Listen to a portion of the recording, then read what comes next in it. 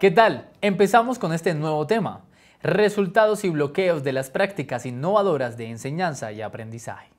A pesar de la gran diversidad de resultados hasta la fecha, hay dos resultados generales que son comunes y transversales a las diferentes iniciativas y que vale la pena destacar. Primero, el enfoque en una visión de la enseñanza y el aprendizaje centrada en el estudiante. Todas las iniciativas asignan un papel muy central al estudiante. Por ejemplo, en OLIN los estudiantes participan en el diseño del plan de estudios y en el enfoque específico de OLIN de construir conocimiento.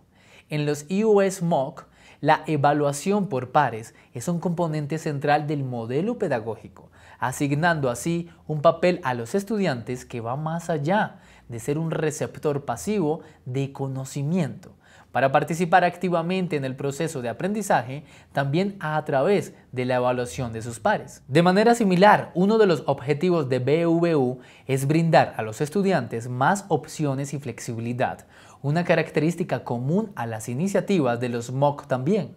De los estudios se desprende claramente que, si bien la tecnología es un facilitador importante de estas iniciativas, no están impulsadas únicamente por la tecnología, más bien, se desarrollan a través de la visión y la interacción de una variedad de actores que buscan abordar cuestiones educativas significativas. El segundo, los intensos procesos de colaboración establecidos dentro y más allá del sector de la educación superior. Se ha observado que las asociaciones las redes y la colaboración son marcos institucionales óptimos a través de los cuales se imparte una enseñanza y un aprendizaje innovador. Esto implica la colaboración entre instituciones de educación superior, así como otros socios, por ejemplo, empresas privadas, gobierno regional. Las relaciones de colaboración permiten que cada socio explote las fortalezas del otro y estrictamente relacionado con el punto anterior, satisfaga las demandas de un cuerpo cada vez más diverso de estudiantes o más ampliamente consumidores y empleadores. También se ha observado algunos bloqueos para una expansión completa de prácticas innovadoras en la enseñanza y el aprendizaje. Resistencia al cambio a nivel institucional.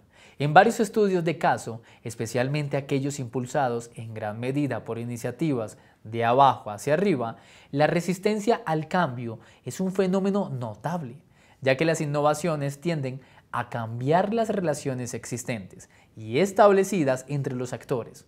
Se observa una oposición inicial por parte de los académicos a cambiar su papel, de dar conferencias, entrenar y orientar. De manera similar, se ha observado un grado de escepticismo hacia la enseñanza y el aprendizaje en línea. La resistencia al cambio, inducida por las innovaciones y los innovadores dentro de las instituciones, es por lo tanto un bloqueo potencial que impide el desarrollo de prácticas innovadoras en la enseñanza y el aprendizaje en todo su potencial, al menos en las etapas iniciales. Falta de marcos regulatorios apropiados a nivel macro este segundo bloqueo se aplica principalmente al aprendizaje en línea.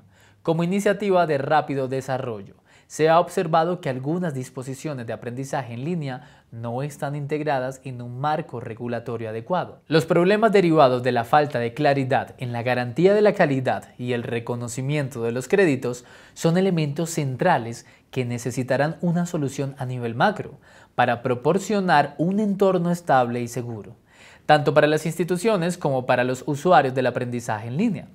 Una línea de argumentación similar se aplica a la regulación de los derechos de propiedad intelectual, que no siempre están claros en la actualidad. Frente a lo anterior, a nivel de instituciones de educación superior, se recomienda considerar las siguientes medidas. Fomentar una cultura institucional a la innovación que potencie la creatividad, cree conciencia de los beneficios resultantes de la implementación de la innovación, estimule la apertura a la innovación y minimice la resistencia al cambio. Considerar incentivos y recompensas para los miembros del personal, incluidos, entre otros, los académicos, que participen en prácticas innovadoras. Involucrar a los profesores en la explotación del potencial de las nuevas tecnologías de aprendizaje. Considere el uso de la colaboración interinstitucional para mejorar la elección de los estudiantes y calidad, posiblemente reducir costos también. Poner en marcha medidas adecuadas para el desarrollo de habilidades del personal docente y también por una mayor colaboración en el desempeño de sus funciones docentes revisar los límites y vínculos organizacionales existentes.